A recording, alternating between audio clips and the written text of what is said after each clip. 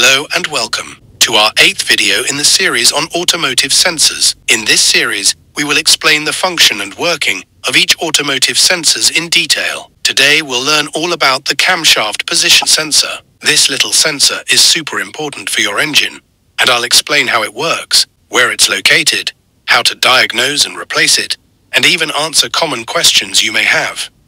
Be sure to check out the links in the description for the other videos in this series. Now let's break down how it works, step by step. The camshaft position sensor, also called a CPS, monitors the position of the camshaft relative to the crankshaft.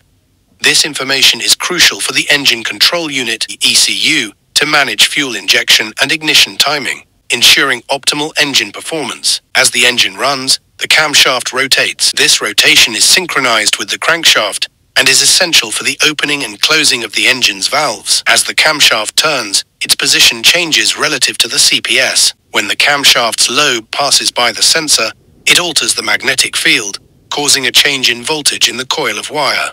The CPS sends the generated electrical signal to the ECU. This signal indicates the exact position of the camshaft. The frequency of the signal helps the ECU determine the camshaft's speed and position. The ECU uses the information from the CPS to adjust, ensures the right amount of fuel is injected at the right moment, adjusts when the spark plug fires to optimize power and efficiency. The CPS continuously monitors the camshaft position as the engine runs. Any changes or discrepancies can alert the ECU to adjust parameters for optimal performance. Accurate readings from the CPS are crucial. If the sensor malfunctions, it can lead to poor engine performance, increased emissions, and even stalling.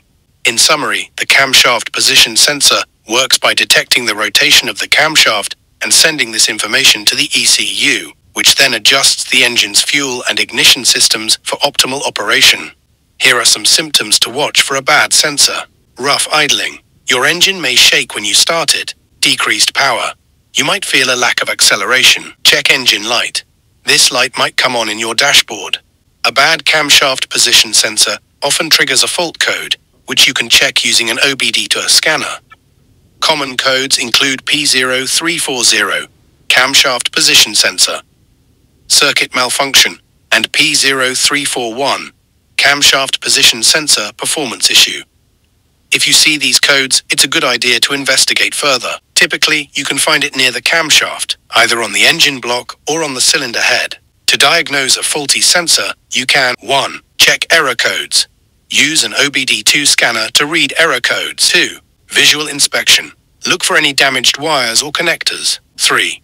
Test the signal. Use a multimeter to check if the sensor is producing the correct voltage. You might wonder, can you still drive with a bad camshaft position sensor? The short answer is yes, but it's not safe.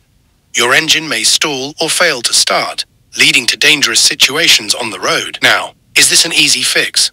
For many, yes. If you have basic mechanical skills, you can replace it yourself. However, if you're not comfortable, it's best to seek help from a mechanic. Can an engine run without this sensor? Technically, some engines might run in a limp mode, but it's not advisable to drive it like that. What causes the camshaft sensor to go bad? Some common culprits include heat damage. Excessive heat can degrade the sensor. Oil contamination. Oil leaks can affect sensor performance. Wear and tear. Over time, components can wear out, and there you have it. The camshaft position sensor explained in simple terms.